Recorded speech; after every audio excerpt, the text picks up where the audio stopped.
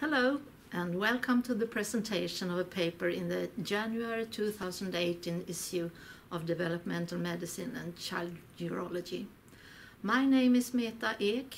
I'm a physiotherapist working at the Regional Rehabilitation Center in Gothenburg, Sweden. The paper I'm going to talk about is on children with dyskinetic cerebral palsy and the effect of intrathecal baclofen. We made a retrospective review of medical records of 25 children receiving a baclofen pump during a 10-year period. Uh, uh, you can see they have a severe motor impairment, also accompanied by uh, several other problems. All but one had no speech and needed support in sitting. They were assessed before and after a minimum of one year after pump implantation regarding uh, uh, with, the, with measurement of dystonia, spasticity and range of, range of motion.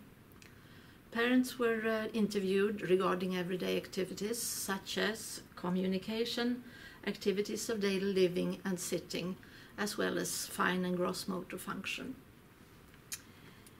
Uh, and you can see uh, the results after ITB, there were improvements with the reduction of dystonia and spasticity.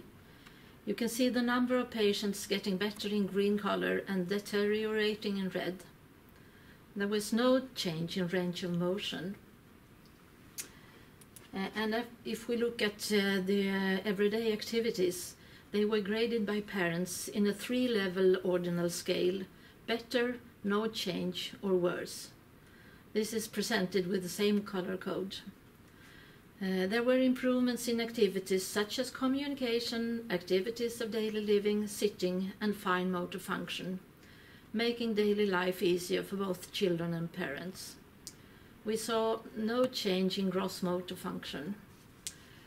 Uh, and by this we conclude that intrathecal baclofen may, may have the potential to improve everyday life for patients with dyskinetic cerebral palsy.